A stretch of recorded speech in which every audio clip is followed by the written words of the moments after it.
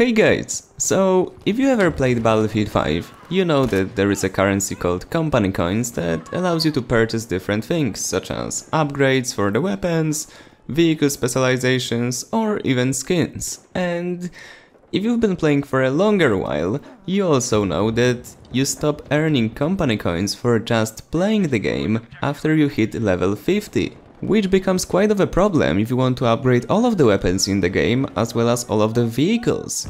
Couple videos ago I made a rough estimate that you need around 120,000 company coins if you want to upgrade everything in the game as of me recording that video. So today we're gonna take a look at couple of secret ways that you can earn more company coins. Just to give you a perspective, we have 19 different vehicles in the game and upgrading each vehicle to full specializations costs you 3000 company coins. That means you will need 57,000 company coins for upgrading vehicles alone. What about the weapons? We have 34 primary weapons at the time of me recording this video and upgrading each of them costs 2100 company coins. Do you see? Almost, or well, not almost, but around 120,000 required to upgrade all of the things in Battlefield 5. So how do you get more of them, apart from leveling up your class to level 50 or completing assignments which reward you with company coins? Well, there is actually 6 different ways to do it. 1. Completing a normal assignment, such as, I don't know, STG-44 Proficiency or STG-44 Mastery. Those assignments, even though they do not display company coins as a reward for completing those, will give you 150 company coins for each of the assignments once you complete them. Majority of the player base is unaware of this feature because the user interface in Battlefield doesn't display it. And it pretty much goes for all of the other tricks. Another one.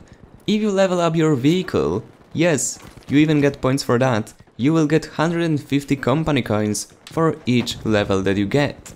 If you level up your weapon one level higher, guess what? You're also gonna get 150 company coins. If you level up an individual class, you will also get 300 company coins per each level. But that's not all.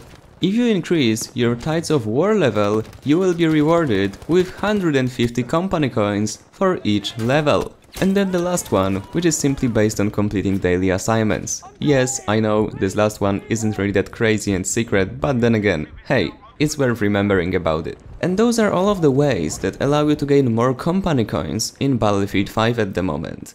I don't know why DICE decided to not implement any indication of it in the interface because I find it quite crucial for the players to actually know how they can earn company coins, especially considering they're not earning any more of them after level 50. Also, I have actually never seen any official information from EA DICE about those ways of earning company coins.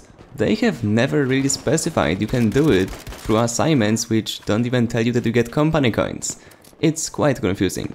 Or maybe I just missed it. Let me know down in the comments if you guys knew about it before watching the video. Anyway, as always, if you enjoyed, remember to leave a like, subscribe, Merry Christmas by the way, and I see you on the battlefield.